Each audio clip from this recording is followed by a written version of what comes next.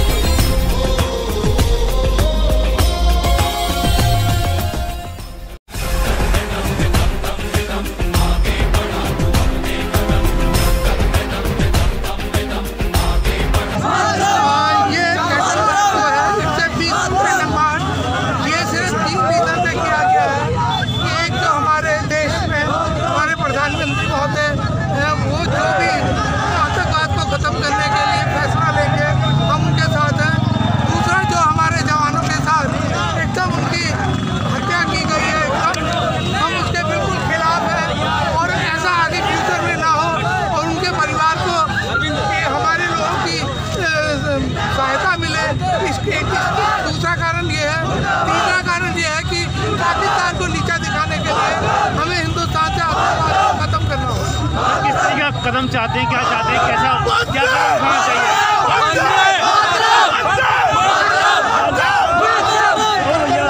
सरकार को क्या कदम उठाने की ज़रूरत है? सरकार को सबसे कि आतंकवाद को खत्म करना पड़ेगा, अपनी सिक्योरिटी को बढ़ाना पड़ेगा और उन्हें कुल मिला फ्री हैंड देना पड़ेगा ताकि वो आतंकवाद को खत्म करने के लिए कुछ भी ज़रूरी कदम उठाना उठाए। सरकार से क्या मांग करते हैं? हमारी हम हम सरकार के साथ हैं। सरकार को जो भी फैसला लगता है वो ले हम सरकार के साथ। आज कैंडल मार्च कहाँ से कहाँ निकाला है? आज कैंडल मार्च कहाँ से कौन से इलाके से कहाँ से कहाँ निकाला है? ये गोकुलपुर में हमारी लोगों ने निकाला है और ये नॉन पॉलिटिकल मार्च है। कैंडल मार्च पीसफुल मार्च है और इस मार्च को हमने गोकुलपुर से चालू करके मीत नगर होते हुए और लोनी रोड चौराहे से होते हुए निकाला है। कैंडल मार्च सब लोगों के मन में आक्रोश है। आक्रोश जो है, आप देख रहे हैं, सारी सारे लोग बहुत ज़ोर ज़ोर से नारेबाजी कर रहे हैं। सबके मन में आक्रोश भरा हुआ है। वो लोग जय जवान, जय किसान के नारे लगा रहे हैं। वो आतंकवाद को ख़त्म करने के नारे लगा रहे हैं। पाकिस्तान मुर्दाबाद के नारे लगा रहे हैं। इससे पता लगता है कि वो सब लोग बहुत आक्रोश में हैं। और वो चाहते हैं कि किसी ना किसी तरह आतंकवाद को ख़त्म किया जाए। कहाँ से कहाँ जो जवानों के साथ ये एकदम उनकी हत्या की गई है। इससे हम बहुत नाखुश हैं और इसके अगेंस्ट ये कहाँ से कहाँ तक कैंडल मार्च कहाँ से कहाँ तक निकाला गया? ये मैं गोकुलपुर से चालू किया गया मीत नगर होते हुए और लो, लोनी रोड चौरा- गोचर ये क्या मांग है सर? जनता की क्या मांग है? एक ही मांग है एक ही मांग है कि आतंकवाद को खत्म किया जाए और जो 40 लोगों के की हत्या की गई है जवानों की उनके परिवार को साथ दी। हमारी कोई मांगे नहीं आतंकवाद खत्म होना चाहिए यही हमारी मांग है।